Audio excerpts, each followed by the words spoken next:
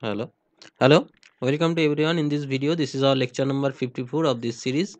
Uh, previous 53 lectures actually consist the solution of the book that is electrodynamics by dj griffith. Actually this is 25 part of this book solution and the rest of the lecture actually covered the solution of the B Ghosh electricity and magnetism by B Ghosh so if you want to watch the previous lecture you can go through the description box link given in there in this video, I want to discuss the question number 5.51 to 5.56, which uh, in the chapter 5 that concerns the magnetostatics. So let's start with question number 5.51, which says that uh, another way to fill the missing link in the figure 5.48 where actually there is a relation between the electric uh, magnetic field magnetic potential magnetic vector potential magnetic scalar potential uh, divergence of magnetic field curl of magnetic etc you know this uh, equation uh, figure 5.48 which already discussed in the previous lectures.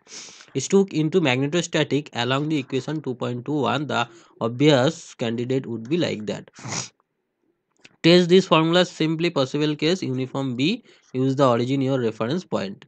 Is this result consist of this point? So just taking the uh, curl of b dot dl so this is uniform. So in taking from in outside of integration. So this is curl of b. B, uh, b b cross r. And which is not equal to a because a equals to minus half b cross r. So this is not uh, consist with this pro problem. Okay. Next one he says so that this uh, integration b cross dl is not independent path. So by calculating this around the loop of this figure so if you wants to find out this integration along this so the magnetic field for this two side will be zero and for that one the magnetic field will be this one with respect to a and this is with respect to b. And the direction you can see this is if you take this is z cap uh, then it will be minus z cap. If this is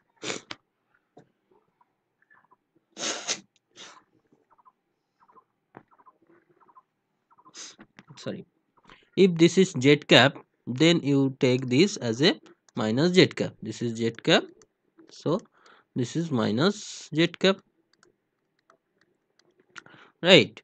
So just put this uh, equation. You will be get this equation and this is not equal to 0 since this uh, total cycle integral is not equal to 0 so this is path dependent. If this is path independent this total cyclic integral must be 0 okay.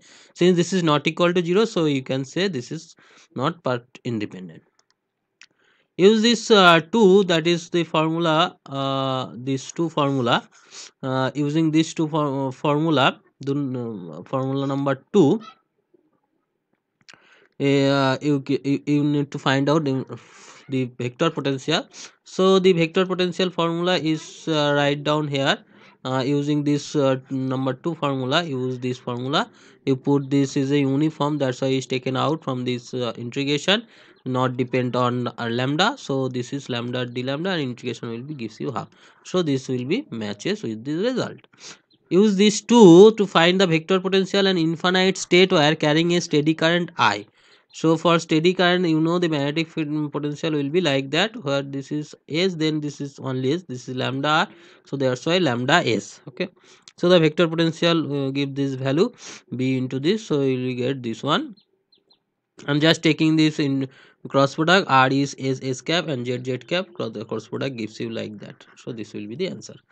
Next one and here the there is a discussion actually. The example c and d last two example are to divergence less. But this not in the case in general for the, in general this is not happening. So actual conclusion that the divergence a is 0 is not the, the does not the, this a actually does not give the uh, equals to 0 divergence a not equal to 0 actually says. This says this is the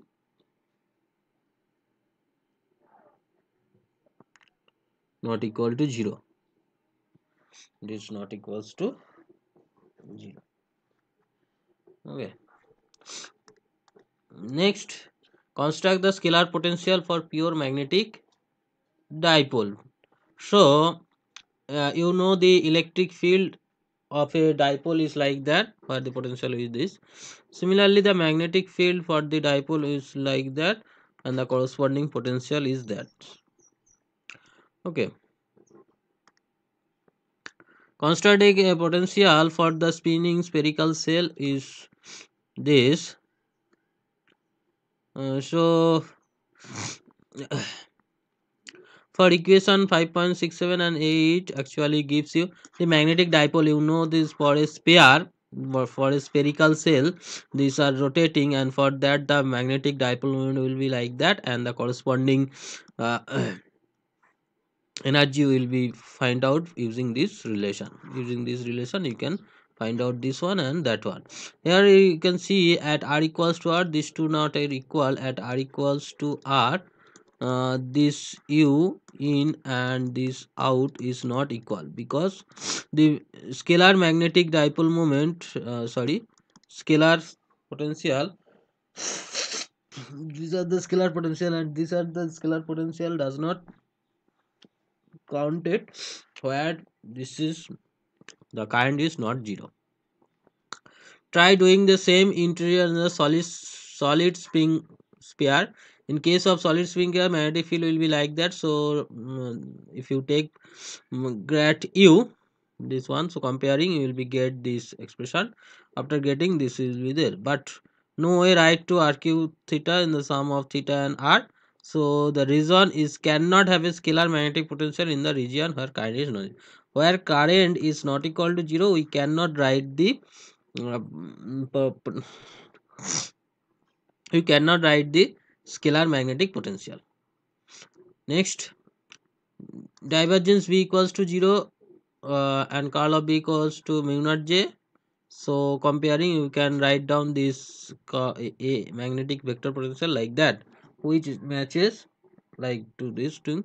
So divergence w equals to 0 divergence curl of w equals to a. So comparing these two equation this one this one and this one uh, this two equation we write this one. So using this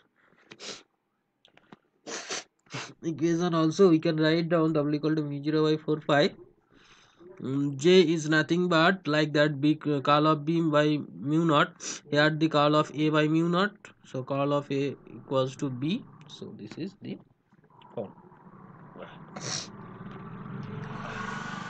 So next one determine w for uniform magnetic field. So in case of uniform magnetic field actually uh, taking this w equals to two component and then determine this dot and cross finally we'll get this one. Actually uh, this is not a unique solution. Actually this is a defined can be defined unique solution. Find the w for inside outside infinite solid uh, solenoid for in case of solenoid uh, you can find out this w for inside and this is for outside. Uh, using this relation that is a dot dl and this is the a for the inside region vector potential of a solenoid. And this is for a for the outer region. So finally get this one. So next one also says uh, this uh, equation. Uh, you do this thing. You can find this relation.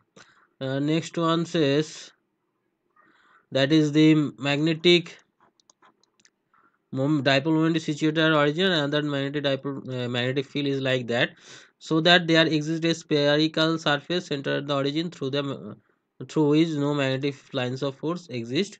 Find this radius of sphere. So here from equation 5 uh, total magnetic field will be like that so b dot r equals to these things. So the there is zero for all theta when r equals to r. So this gives you this radius. So from where will we get value this radius where this net magnetic field will be. The no lines of force cause this sphere. Next one. A uniform uh, thin dot carrying a charge q and mass m rotate about this axis find the ratio of the magnetic dipole moment to the angular momentum. Magnetic dipole moment is nothing but current into uh, area. Current is q by t q by 2 pi by omega q omega by 2 pi. Area is pi r square. Put this value you will be get q by 2 omega r square z cap. And the angular momentum is m omega r square z cap. So m by l equals to like that. This is known actually gyromagnetic ratio what is the gyromagnetic ratio for uniform spinning sphere? In case of the sphere actually we can take this is a combination of the small spherical shell uh, into the infinite ring. Actually you can take this as a large number of ring. So apply the same result. In case of the ring we know this gyromagnetic ratio will be g by 2m so this is not depend on this uh, radius of the spring. That's why the this result will be the same as before. Next one according to quantum mechanics the uh, angular momentum spring will be like that. The value of l will be h cross by 2 not square. This is error. H cross by 2 uh, what then? The electron's magnetic dipole moment. So for electron uh, gravity ratio is mass per angular momentum which is q by 2m so if you compare this in small m equals to q by uh, 2 capital ml q is the charge electronic charge. M is the mass of the electron and h cross is the reduced planck constant. Reduced reduced planck constant. Planck constant which is h by 2 pi. H is the Planck constant 6.64 10 to the power minus 34 by 2 pi like that. Joule per second. Joule per second so put this value you can easily find out the magnetic dipole moment that is 4.61 to the minus 24 ampere meter square. This is the constant value of the uh, of this dipole moment of electron. This is actually known as Bohr magneton. Bohr magneton. Okay. So that's it for today. This is all about me. This is my contact details. This is my youtube channel details. And thank you. We'll meet in the next video. Thank you